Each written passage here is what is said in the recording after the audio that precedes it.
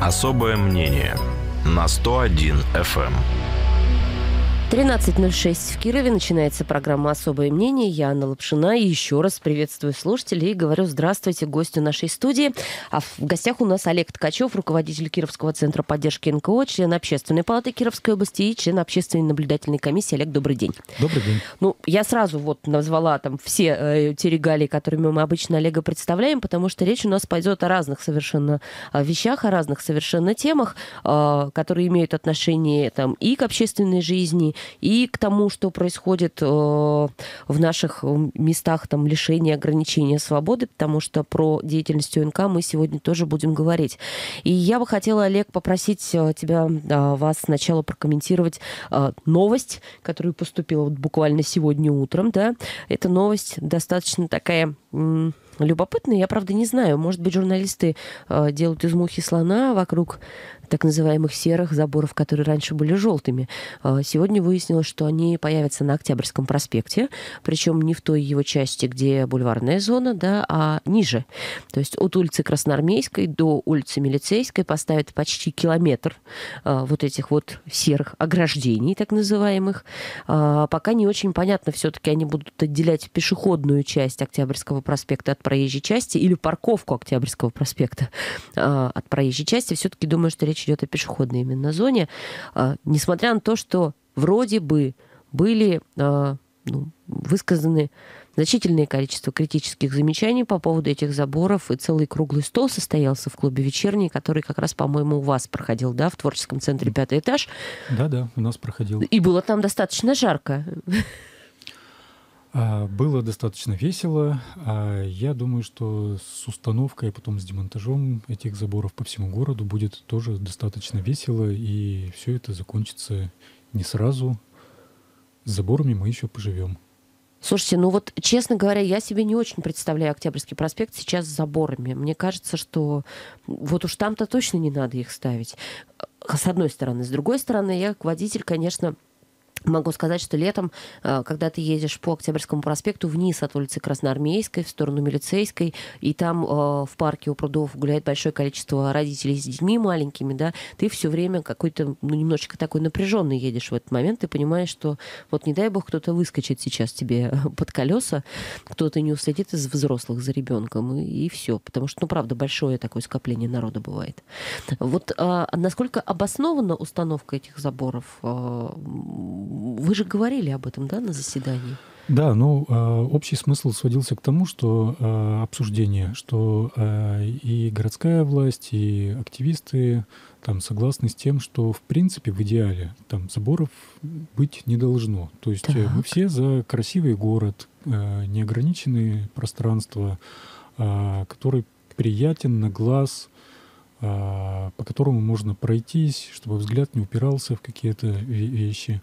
В какие-то конструкции, которые пока серые, а весной будут ржавые. Ну да. А, но с другой стороны, есть э, ну, какие-то там аспекты безопасности, есть тонкости, э, там сколько метров от перекрестка до тут, э, как оградить зоны, как переградить путь к случайным там, а, школьникам, чтобы они не выбегали на дорогу. А, в принципе, и решение-то есть. Не, э, не, не только там, у нас, там, по всему миру. То есть, э, в принципе, ограждения э, делаются, там, там живая изгородь, какие-то дизайнерские вещи. Ну, то есть э, над всем этим надо думать. То есть должна быть, видимо, глазу преграда какая-то, да, которая может преграда, быть не, не совсем преграда, забор. Э, да, э, преграда не преграда, но визуально... Граница. Э, там граница должна отделяться проезжая часть от э, пешеходной зоны, Э, и пешеходы должны понимать, даже самые неразумные, э, где кончается то пространство, где можно гулять, бегать, прыгать, э, и куда выходить уже нельзя. Но мы живем с нашим бюджетным кодексом, денежки необходимо осваивать. Ой. Ну, Э, самые простые, самые действенные, то есть э, вещи, э, есть ГОСТы, есть СНИПы, которые регламентируют установку конструкции примерно вот таких. То Я... есть из самых э, Из доступных... самых простых и доступных материалов. Да, да. Спасибо, что не поликар... Спасибо, что не поликарбонат, что называется, да, поставили? Мы все за э, красоту, но красота да? стоит дорого. А вот у меня сейчас вопрос, а как же в советское это время мы обходились без этой красоты? Ну, машин было меньше, да, это правда. Потому что Б... пешеходы были более разумными. Э, а по-разному было. На самом деле ограждения тоже были. Я помню эти, э, там, не знаю, чугунные, не чугунные трубы, тоже покрашены там в какой-то желтый цвет mm-hmm. вдоль дорог. Но И вдоль были... Октябрьского проспекта? Но они были не везде, они были не везде, вот, а только на определенных участках. И, собственно говоря, вот на обсуждении в клубе «Вечерний» Э, сошлись в том, что в принципе так как, э, наверное, э, не стоит весь город. То есть все, огораживать заборчиками. Да, все улицы, там все погонные метры по бокам улиц, наверное, не стоит.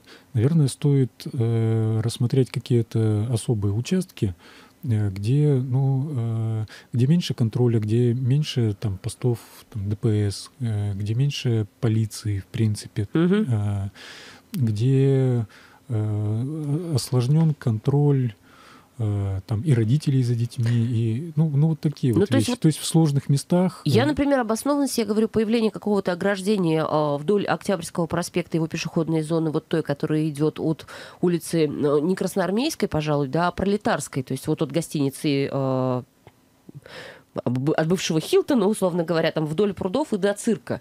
Вот здесь я понимаю там примерно еще логически могу себе объяснить появление вот этого ограждения, потому что действительно много родителей с детьми, особенно летом, особенно в выходные. Дети не всегда ведут себя а, а, по струнке дисциплинированно, да, и ходят с родителями за ручку, могут не уследить, и там потом может случиться действительно там непоправимое и страшное что-то.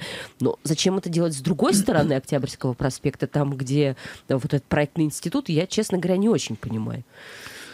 Ну, это все э, зависит от э, тщательного продумывания э, в конкретной ситуации, на конкретных участках. А То вот... есть э, э, вопрос, кто конкретно, кто непосредственно э, занимается тем, что размечает, э, на каком участке должен быть это ограждение, на каком не должно быть это ограждение. Мне кажется, это занимается дирекция, э, о, дирекция, как она сейчас у нас называется, бывшая дирекция но, дорожного но хозяйства, они, они, управление они, дорожной и парковой инфраструктуры, а, Евгений они, Лунев, который возглавляет. Они, они не самовольно принимают все решения там, в этой сфере. Там, разумеется, здесь э, и советуются из ГИБДД, и э, смотрят и статистику, как, по крайней мере, нас заверили.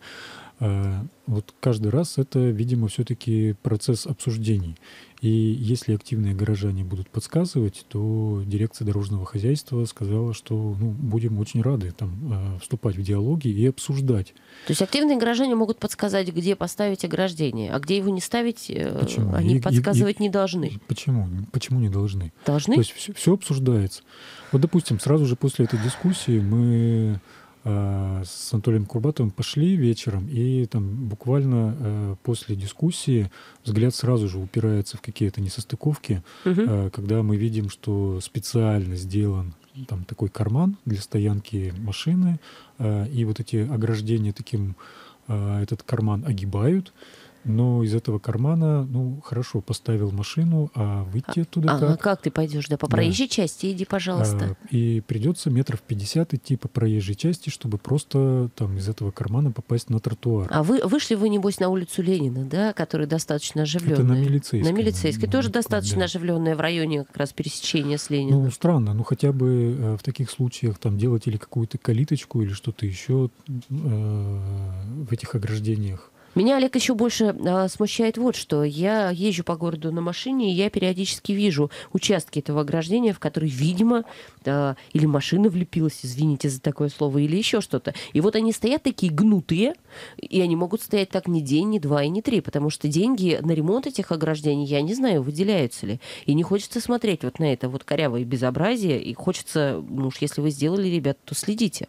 Говорил ли что-то об этом Евгений Лунев? Но, э, Или рем- не задавали ему такого вопроса? Ну, ремонтные работы там ведутся постоянно, то есть с какой интенсивностью мне вот сложно сказать. Мгм. То есть э, подробно не расспрашивали там и не предъявляли там адреса. Вот здесь у вас погнулось, и вот здесь у вас погнулось. Ну, конечно, я так думаю, что это там э, рабочие моменты, которым э, служба должна заниматься и там занимается насколько может. Но вообще, в принципе, э, инфраструктуру города надо продумывать тщательнее.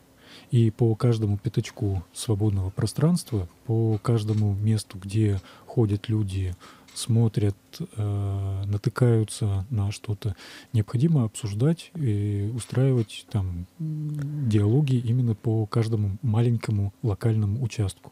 Да это, я думаю, сейчас администрация, если нас слышит, они скажут, да вы с ума сошли, товарищи, какие диалоги по каждому маленькому участку? Общественные как? слушания, что ли, проводить? Нет, ну а, общественные слушания, не общественные слушания, но я так думаю, что нет м, э, ничего сложного там проводить какие-то регулярные встречи э, с заинтересованными активистами. И представлять Да. им список тех мест, где собираются что-то сделать, и Они са- спрашивать, что они вы думаете сами- по этому Они поводу. сами принесут разные вопросы по разным участкам и будут спрашивать, а как здесь, а почему здесь, и подсказывать той же дорожной службе, э, где требуется больше внимания, э, тщательность проработки, где неудобно ходить людям, ну и так далее. То есть я так думаю, что формат регулярных встреч это было бы полезно и, и приятно всему городу. Евгений Лунев а, давал какое-то обещание о том, что могут быть такие регулярные встречи? Или это все-таки более м, высокий уровень, скажем так, на уровне администрации Нет, я- должно быть нет, решено? а, обговаривалось то, что э, встречи могут быть, и там все зависит от желания и от настроя Общественников. общественников. Именно общественников. Интересно. Олег Ткачев, руководитель Кировского центра поддержки НКО в нашей студии. Мы сделаем перерыв на полминуты и вернемся. Особое мнение на 101 FM. Совершенно верно, это программа «Особое мнение». Сегодня это «Особое мнение» Олега Ткачева, руководителя Кировского центра поддержки НКО, члена Общественной палаты Кировской области. И я сейчас Олега попросила бы прокомментировать федеральную такую историю, которая к нашему городу имеет непосредственное отношение, ну и ко всем остальным российским городам тоже. Накануне, э, значит, э, появилась э, новость о том, что Конституционный суд России признал незаконными региональные нормы о запрете публичных акций возле зданий, где расположены органы госвласти. Также Констит- Конституционный суд считает, что помеха работе транспорта, затруднение доступа к объектам социальной инфраструктуры сами по себе не могут быть веской причиной отказа в проведении митингов, собраний, демонстраций, шествий и пикетов. Я прямо цитату приведу э, по коммерсанту э, из решения Конституционного суда. Компетентные органы и должностные лица обязаны стремиться к принятию всех зависящих э, от них мер для э, легального проведения публичных акций в избранном организаторами месте в запланированное время, а не пытаться под любым предлогом изыскать причины, оправдывающие невозможность реализации права на организацию и проведение публичных мероприятий в указанном в уведомлении формате. Слушайте, мне кажется, это революция какая-то происходит сейчас устами Конституционного суда. Ну, революция не революция, но определенно в Конституционном суде что-то произошло. Ну, то есть э, э, с чего-то вдруг э, Конституционный суд, не прошло и 300 лет, э, подумал и принял такое решение.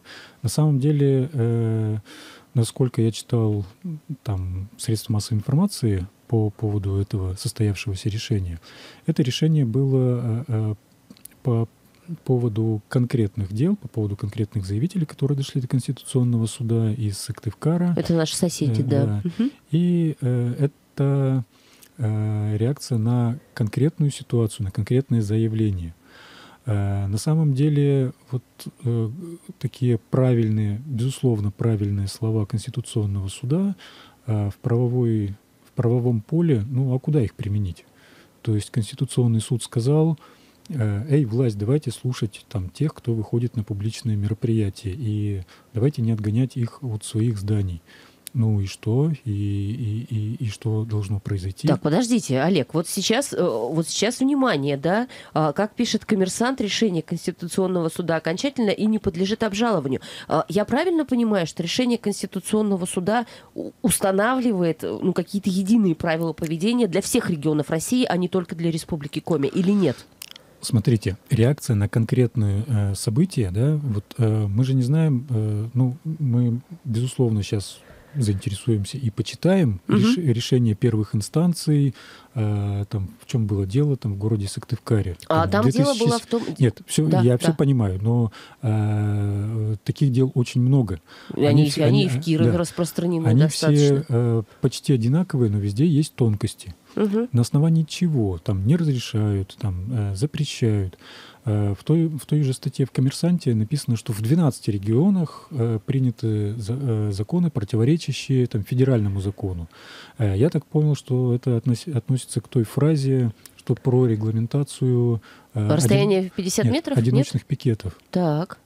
Вот. Ну да, федеральный закон однозначно трактует по одиночным пикетам. Не надо ничего не, э, не уведомлять, не согласовывать. Ничего, не согласовывать. Угу. Вот, и одиночные пикеты можно проводить у органов, да, органов власти, человек, в здании органов власти. Человек выходит и это делает. Если в каких-то 12 регионах приняли там другие нормы, да, то, это, то понятно, что этого делать нельзя, закон, местные законодатели погорячились. Вот. Но у нас вроде, э, слава богу, такого еще нет. Хотя... Я, я вот у меня почему-то ощущение другое. Мне кажется, что речь все-таки шла о, не, не об одиночных пикетах, а о массовых акциях, или все-таки о пикетах.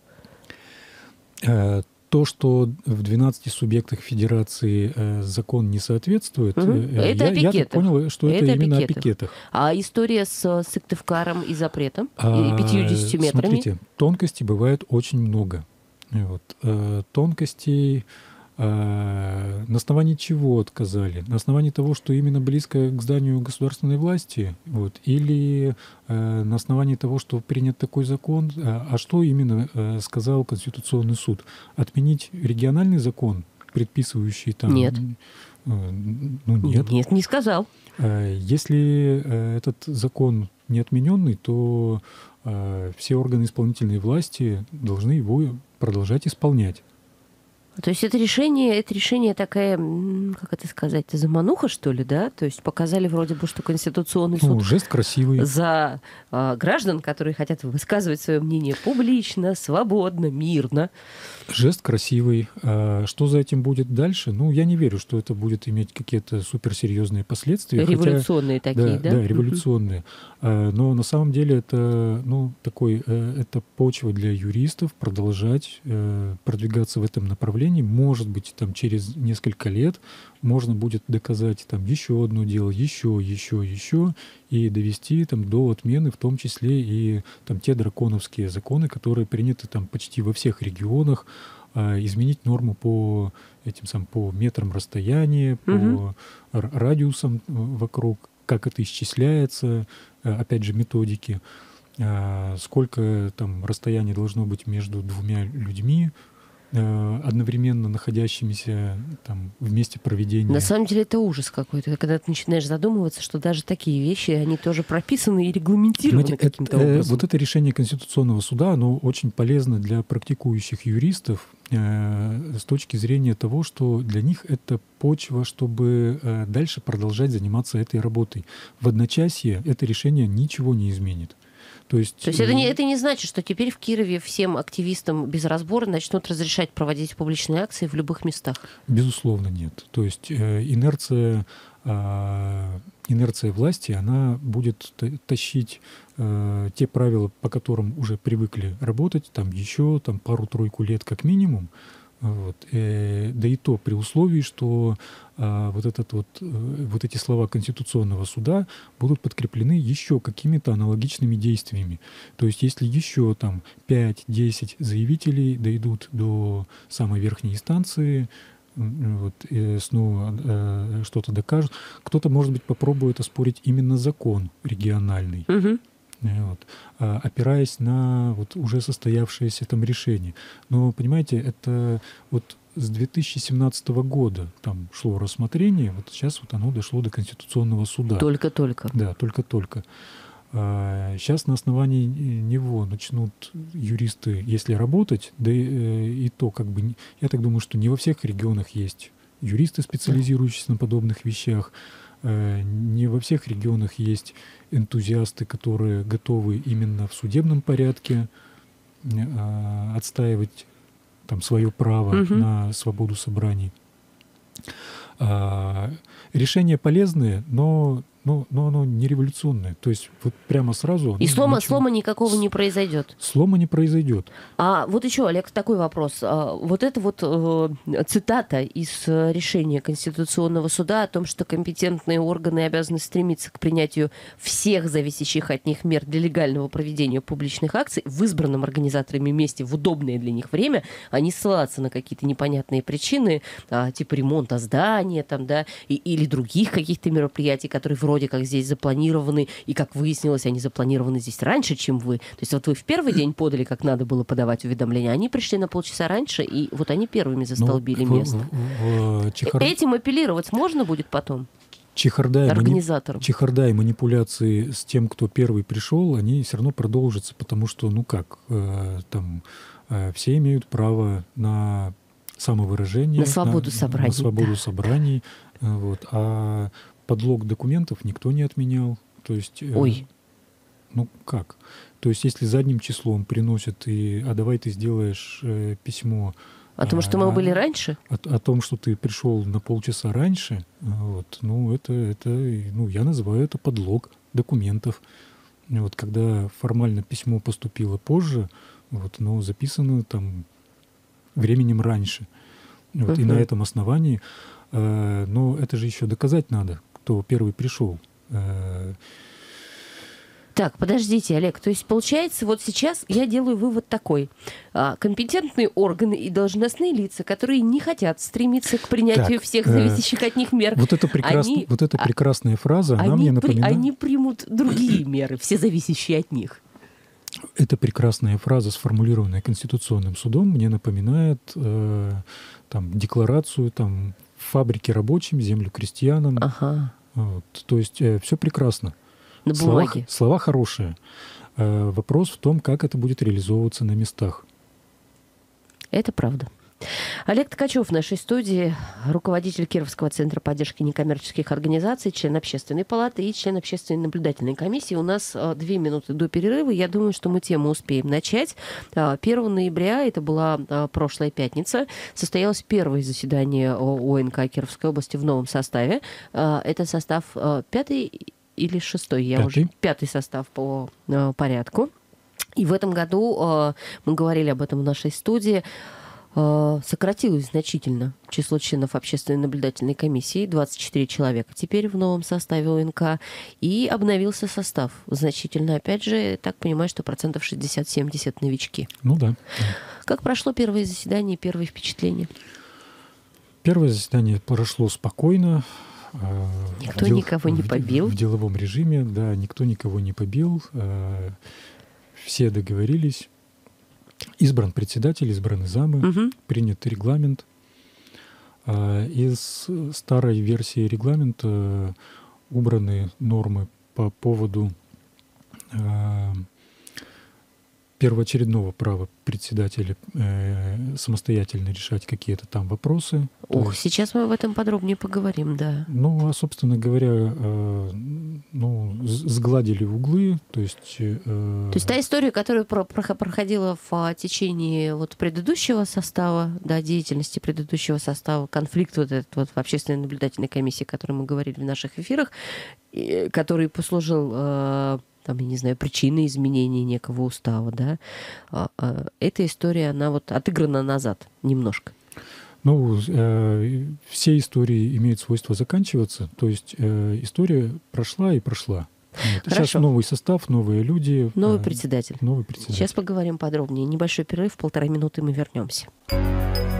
Особое мнение на 101 FM. Программа «Особое мнение» вновь в эфире. Олег Ткачев в нашей студии, руководитель Кировского центра поддержки некоммерческих организаций, член общественной наблюдательной комиссии Кировской области нового состава, который приступил к работе а, 1 ноября в прошлую пятницу. 24 человека, мы об этом с Олегом уже сказали, выбрали председателя, немножечко изменили устав. А, а, Председатель, э, вообще, как выборы председателя происходили? Я помню, как это происходило в общественной палате. То есть там а, все кандидаты, которые а, собирались возглавить общественную палату, некую презентацию делали, там, самопрезентацию. А, а в ОНК как это было? Ну, собственно говоря, э, предложили, э, наш коллега Илонур Гусейнов предложил кандидатуру Александра Валентиновича Миляева. Угу. А, ну и больше желающих не было. Угу. И все. Александр Миляев, я так понимаю, что он новичок. Э, в ОНК, да. В ОНК он новичок. То есть новый человек пришел и тут же сразу раз и стал председателем. Как так? Ну, а почему бы и нет? А так бывает. То есть это нормально совершенно, да? Но если человек, если человек просто не имел опыта работы в составе комиссии, это не возбраняется? Ну, да, конечно, не возбраняется. То есть э, когда-то в первый раз люди приходят в комиссию, и когда-то начинают там э, новый для себя там вид деятельности. Да, но не сразу с поста председателя. Всякое бывает. Ну, действительно, э, вот среди 24 членов ОНК э, в данный момент не нашлось там тех людей, которые бы были и там опытные и там все знали бы там про тюрьмы и при этом имели бы желание и при этом бы имели так какой-то такой огромный кредит доверия, чтобы вот так вот э, и ну самое главное мне кажется желание угу. взвалить на себя дополнительный объем работы. А там большой объем работы? Ну, то есть на председателя, на председателя какие обязанности ну, смотрите, возлагаются, кроме, как, кроме как вести заседание, которое не так часто бывает, насколько я понимаю? Ну, вообще-то как бы роль председателя это скоординировать деятельность других членов. То есть э, можно стать председателем номинально, ну просто как бы получить вот это название и все. Вот. Можно попытаться скоординировать и организовать работу. Угу. Вот. То есть э, не там Э, это можно делать по-разному. Можно там попытаться всех построить. Декларативно, да? Там, угу. да. Можно попытаться там всех вовлечь. Вот. Ну, а, пришел новый человек, сейчас будем а, смотреть, притираться. А он сказал, он будет вовлекать или, или, или приказывать? Не сказал? А, многократно он говорил о том, что он будет сотрудничать, будет э, изучать там то, что не знает, будет спрашивать советов. Вот. И сам в первую очередь э, попросил э, вычеркнуть из регламента там все вещи, которые там излишне там, выделяют роль председателя, там, его командную главенствующую функцию. Это было ну, достаточно приятно как бы слышать, э, что человек сам по своей инициативе тяготеет ну, каким-то коллегиальным методом работы и советуется там, с присутствующими людьми. Что Скажи... из этого получится дальше, ну, угу. ну, все посмотрим. Следующее заседание у вас когда? Ну, то есть вы, я правильно понимаю, что все организационные моменты вы решили вот первого числа или нет? Не, ну, не все. То есть э, не очень подробно там обсужден план ближайших мероприятий, просто времени не хватило, потому что э, много обсуждали там вопросов, которые накопились. э, сейчас э, После уже э, общего заседания ОНК собиралась там рабочая группа. Угу. Вот, э, те люди, которые там имеют опыт, знания, там какие-то компетенции, вот, при, приходили, собирались, э, э, обсуждали. Я так думаю, что э, новый председатель ведет консультации с разными членами ОНК. Э, ну, приступил к работе. А, вот, то есть э, интерактивно там переписываемся, там что-то продолжаем обсуждать, и деятельность планируется. То есть вот буквально уже там, я думаю, что со следующей недели пойдут Вы, выезды какие-то, да? Первые выезды, да. Председатель, я так понимаю, что будет, наверное, ездить с кем-то из опытных э, представителей, там, членов комиссии, чтобы посмотреть, э, как все внутри устроено. Или, или он в курсе, потому что его представляет э, на сайте Общественной палаты экспертом в сфере безопасности и взаимодействия с правоохранительными органами. Ну, насколько я понял, что именно э, с системой э, исполнения наказаний он пока э, знаком не настолько подробно. То есть поверхностно. Еще один момент, о котором хотела я спросить. Мы говорили в этой студии о том, что что у а, общественной наблюдательной комиссии предыдущего а, состава, предыдущего созыва было два два сайта, я бы так сказала, один официальный, другой неофициальный, который вел а, председатель предыдущего состава, а, предыдущего состава, да, Михаил Кузьминых. Что будет сейчас с этим сайтом? Вот вы задавали этот вопрос в процессе на первом заседании или нет? Ну, на первом заседании определились, какой сайт ОНК будет вести. То есть э, это будет сайт ОНК-43 ру. Угу. То это официальный. Угу. Да. Это да. то, что это то, что было, что называлось нами официальным сайтом. Да. Угу. Там работу другого сайта решено не поддерживать, чтобы не было путаницы. Вот. Ну и, собственно говоря, работа над сайтом тоже будет вестись коллегиально. Угу. Вот. То есть я так понимаю, что доступ к нему имеют многие члены общественной наблюдательной комиссии, ну, или будет редактор какой-то отдельный? Э, Пока на данный момент имею я технический доступ, так. то есть и администрирую. Вот, а, а впоследствии, то есть договорились, что будет э, будет ну, некая редакция, то есть э, будет заниматься и секретарь, и там один из членов ОНК, владеющий э, письменным слогом. А, ага. То есть вот. понятно все. То есть э, мы надеемся на представителей Союза журналистов. Да, их у вас там, их, их у вас там, по-моему, трое, трое человек, да, в этом, в этом составе в новом. Ну, то есть я вижу Николая Голикова, э, нашего коллегу. Ну, я вижу, больше. я вижу нас, Екатерину Лушникову. Да, у нас есть представители э, районных средств массовой угу. информации. Вот с ними просто я не очень хорошо знакома, да. То есть ну, в общем, да, команда будет сформирована. Ну, посмотрим, как будет работать а, новый состав общественной наблюдательной комиссии. Я, в общем-то, надеюсь на то, что, ну, уже сейчас, по крайней мере, путаницы не будет той, которая была да, уже сейчас в предыдущее на, время. Начинают приходить письма, там, в том числе через сайт, угу.